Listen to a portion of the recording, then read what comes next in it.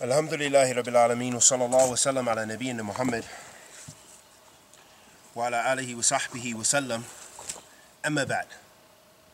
When a Muslim is practicing their deen,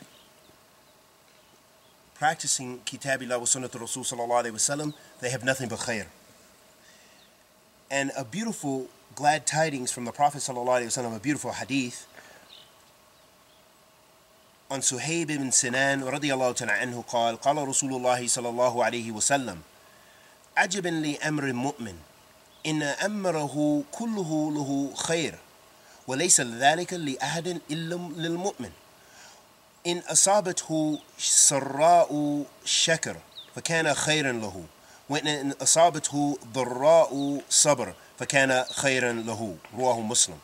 In this hadith, the Prophet ﷺ said, the hadith of Suhaib ibn Sinan radiallahu ta'ala anhu, who said that Rasulullah sallallahu alayhi wasallam said, I'm amazed at the uh, affair of the believer. That verily all of his affair is good. And this is only the case with the believer. If something is happens that is good for him or that makes him happy, then he is thankful.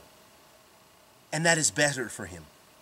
And if something difficult befalls him, he is patient, and that is better for him. Rawahu Muslim.